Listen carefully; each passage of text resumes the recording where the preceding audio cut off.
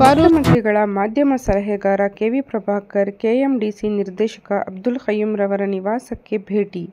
ಸುದ್ದಿಯ ವಿವರ, ಪತ್ರಿಕಾ ದಿನಾಚರಣೆ ಆಗಮಿಸಿದ್ದ ಮುಖ್ಯಮಂತ್ರಿಗಳ ಮಾಧ್ಯಮ ಸಲಹೆಗಾರ ಕೆವಿ ಪ್ರಭಾಕರ್, ಕರ್ನಾಟಕ ಅಲ್ಪಸಂಖ್ಯಾತರ ಅಭಿವೃದ್ಧಿ ನಿಗಮದ ನಿರ್ದೇಶಕ ಹಾಗೂ ಕೆಯುಡಿಎ ಮಾಜಿ ಅಧ್ಯಕ್ಷ ಅಬ್ದುಲ್ ಖಯ್ಯೂಮ್ರವರ ನಿವಾಸಕ್ಕೆ ತೆರಳಿ ಸೌಹಾರ್ದ ಮಾತುಕತೆ ನಡೆಸಿದರು.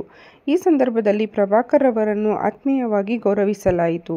ಈ ಸಂದರ್ಭದಲ್ಲಿ ಅಲ್ಪಸಂಖ್ಯಾತರ ಮುಖಂಡರುಗಳಾದ ನಗರಸಭೆ ಮಾಜಿ ಸದಸ್ಯ ಮೊಹಮ್ಮದ್ ಜಾಫರ್ ಸಾಬ್, ಅಂಜುಮನ್ ಉಪಾಧ್ಯಕ್ಷ tractor Mustafa, tempo stand union ಅಧ್ಯಕ್ಷ ಜಹೀರ್, ವಕ್ಫ್ ಬೋರ್ಡ್ ಮಾಜಿ ಅಧ್ಯಕ್ಷ ಹಿದಾಯತುಲ್ಲಾ, ಇಲಿಯಾಸ್ ಖಾನ್, ನಗರಸಭೆ ಮಾಜಿ ಸದಸ್ಯ ಸಾದಿಕ್ ಪಾಷಾ, ಕಾಮ್ರಾನ್, ನವೀದ್ ಪಾಷಾ, ಸೈಫುಲ್ಲಾ ಪ್ರಜಾ, ಅಲ್ತಾಫ್, ನವೀದ್ ಮುಂತಾದವರು ಉಪಸ್ಥಿತರಿದ್ದರು.